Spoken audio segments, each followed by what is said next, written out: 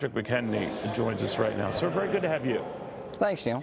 Um, the early differences are that the Senate wants to sort of stagger or delay the corporate tax cut. Is that a non-starter to you?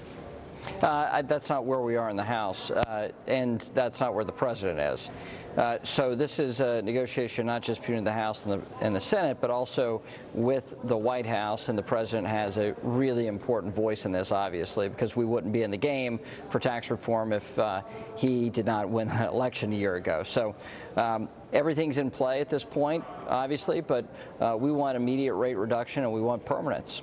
Now, um, they are also trying to deal with some provisos in your measure and the House measure that have proven very unpopular, the inability to write off medical expenses and all of that. Are you open to any of this stuff as well?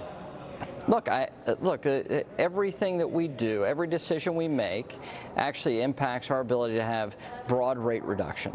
So we've made the tough choices in the House to dramatically simplify the, the individual code, the corporate code, and the individual pass-through small business code.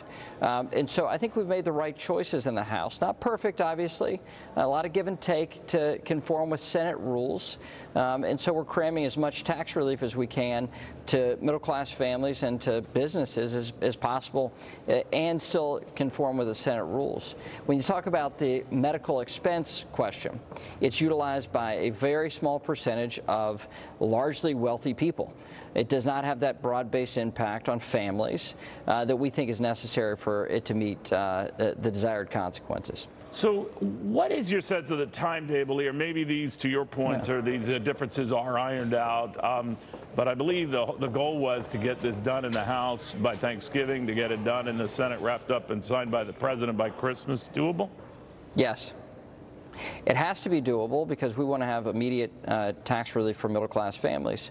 Uh, the complaint I hear loudly uh, from my constituents at home and what we saw in elections in Virginia yesterday is uh, Republicans want results um, and they demand outcomes. And so if we get outcomes, if we actually pass tax reform and get uh, the first steps of health care reform done, the first uh, fulfillment of the president's pledges when it comes to immigration and uh, border security, uh, look, we're going to be in fine shape a year from now. And if we don't get anything done, then people are going to say, what, what use are you?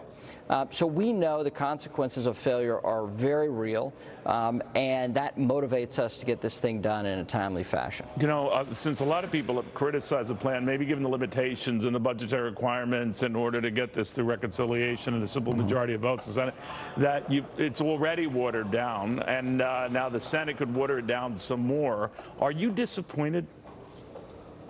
In the Senate? Um, in well, either then, that this is not what it was originally billed to be, that a lot of people just disappointed that the tax cut isn't that big.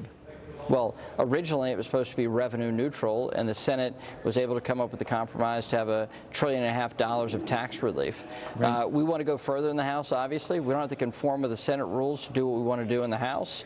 Uh, but if we want to get a bill through the Senate with 51 votes, we have to conform with their rules. Am I disappointed in the Senate? Look, I'm a member of the House. We wake up every day disappointed with the Senate. It's what we do. It's not a partisan is, issue. It's just the nature of a, a bicameral legislature. Um, but I, right. I, I, think even still, uh, my Senate colleagues, my Senate friends know the consequences of failure. Um, and they will see it uh, next November, or, and we'll see it next November in the House. If we don't right. get things done, we're going to get things done. You should hear what they say about you. All right, uh, I'm kidding. I'm kidding. Thank you, Congressman, very, very much. Thanks, Tim. All right, well, probably the